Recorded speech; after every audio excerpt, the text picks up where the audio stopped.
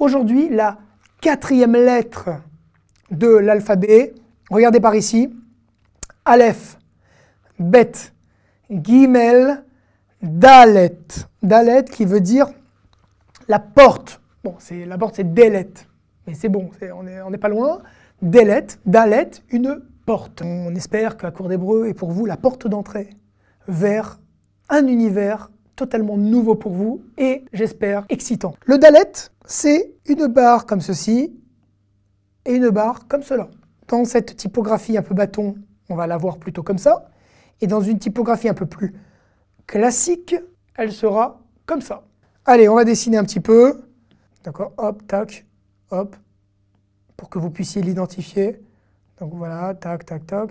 Vous avez vu, hein, c'est en, typographie classique avec les pleins et les déliés. Il y a des petites, toujours cette, euh, ce côté un peu flamme de, de la typographie hébraïque qui est, euh, qui est très courant comme ça, qui est, euh, qui est très très ancienne. Il y a un côté très spirituel hein, dans l'hébreu qui est aussi donné graphiquement dans l'écriture elle-même. Hein. Voilà, ça se finit toujours par une petite flamme en haut le Dalet. Vous voulez suivre notre formation en ligne à Cours d'Hébreu le Club? Alors rendez-vous sur accoursdhébreu.fr et apprenez l'hébreu comme jamais en profitant d'un e-learning de A à Z, ou devrais-je dire de Aleph à Tav. Merci à Noé pour leur soutien et merci à notre partenaire Béivrit.